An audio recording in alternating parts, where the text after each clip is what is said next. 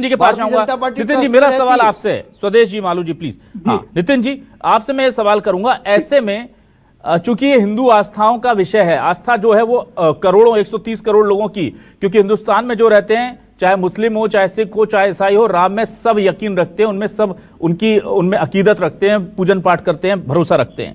नितिन जी मुझे बताइए इस आयोजन का बहिष्कार क्या ये सेल्फ प्रेस्टीज के लिए ऐसा जान नहीं पड़ रहा कि शंकराचार्य जी को हमें शंकराचार्य जी को हमने उतनी तवज्जो नहीं दी जितनी मिलनी चाहिए थी, इसलिए वो नाराज़ हो गए। जबकि संत का तो पहला ही गुण होता है कि वो अहम को छोड़ दे।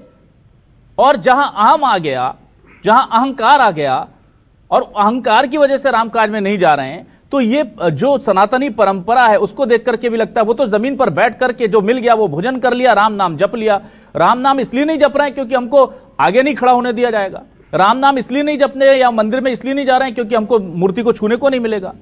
ये थोड़ा जस्टिफाई कीजिए सर देखिए अभिलाष जी ऐसा है।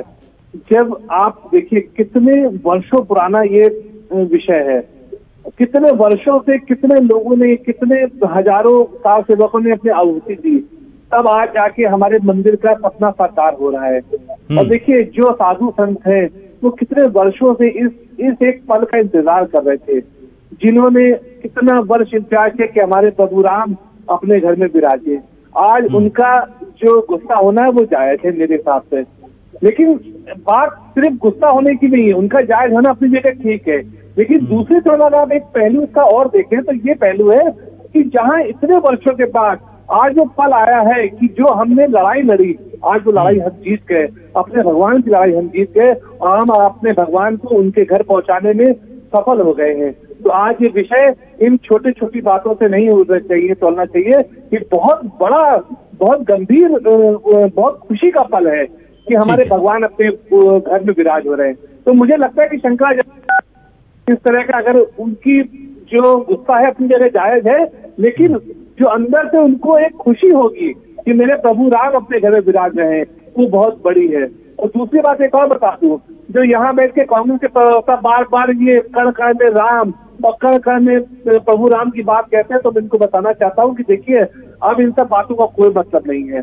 जब प्रभु राम कार में बैठे थे तब आप लोगों ने कुछ नहीं किया आप फिर राजनीति कर रहे थे? आज जब प्रभु राम अपने घर जा रहे हैं तब आप राजनीति कर रहे हैं।